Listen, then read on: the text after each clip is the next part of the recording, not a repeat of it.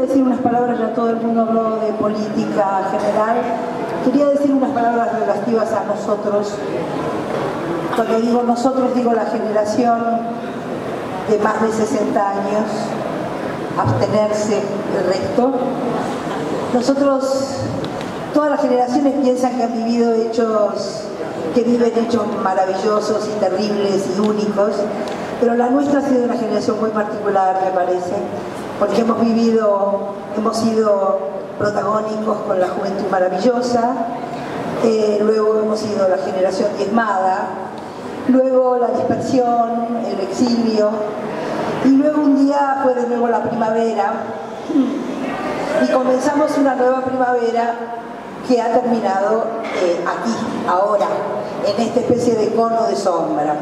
Yo quiero decir simplemente que nosotros tenemos dos cosas que no tiene el macrismo, cuando digo nosotros, digo nuestra generación, que es la mayoría de carta abierta.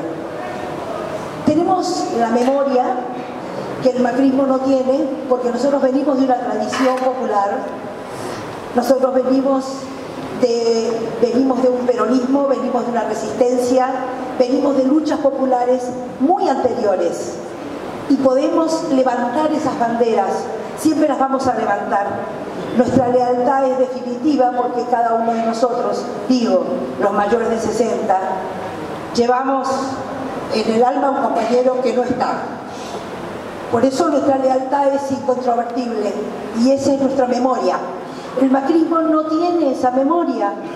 Ellos no podrían cantar este, eh, somos los herederos de Videla y Caballo, no podrían cantar. Los herederos de quiénes son. Nosotros siempre vamos a poder cantar, que es lo que heredamos. Y también lo otro que tenemos es la palabra. Tenemos la palabra.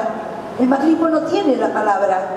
Basta ver, basta ver balbuceos de un tilingo en el balcón de la Casa Rosada para darse cuenta que ellos tienen a ese tilingo y nosotros lo tenemos Horacio González.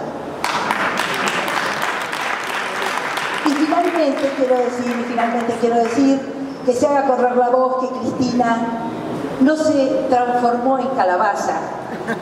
Cristina se fue en carroza de oro, en una carroza de oro de su pueblo en la plaza, y no se fue escuchando una cumbia desafinada, se fue escuchando la maravillosa música que escucharon otros antes.